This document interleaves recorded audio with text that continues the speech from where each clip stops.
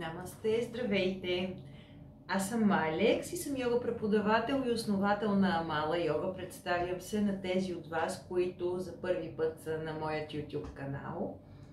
А, днешното видео, в което ще си поговорим е какви желания е да пишем по време на предстоящото новолуние в Скорпион, което ще се случи утре на 4 ноември в 23 часа и 14 минути българско време. Останете до края на видеото, за да разберете какво е добре да правим и какви желания точно ще пишем по време на това новолуние.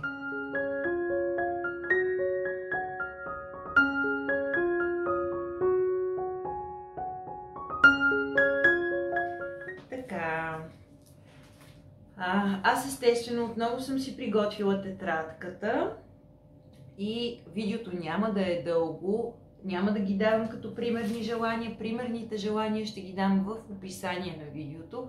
Сега ще си поговорим само за темите на Скорпиона.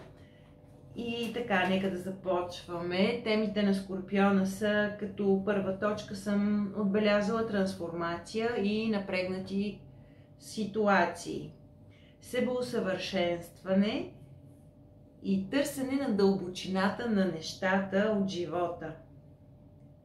Сексуални взаимоотношения, както разбрахте вчера и от видеото, духовност, финансови въпроси, завещания, дарения, вина, ревност, прошка – и какво да си пожелаем? Можем да си пожелаем нещо свързано с мощта, с промяната, тъй, тъй като Скорпионът е на зодията на трансформацията, себеусъвършенстване, финансови партньорства.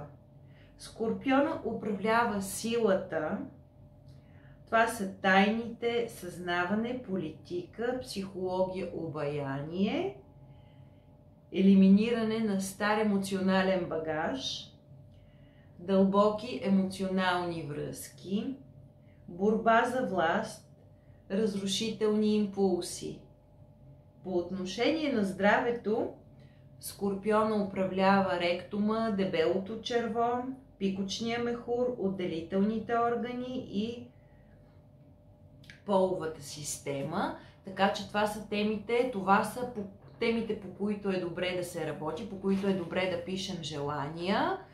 Просто реших да се включам много набързо с това видео, само за да дам насоки.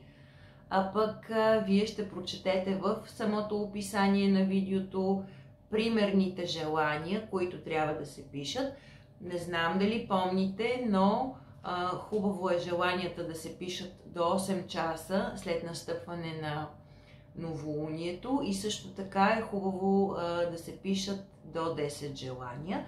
Макар че аз съм ви казвала, ако сте гледали и другите ми видеа, че аз пиша толкова желания, колкото а, имам нужда.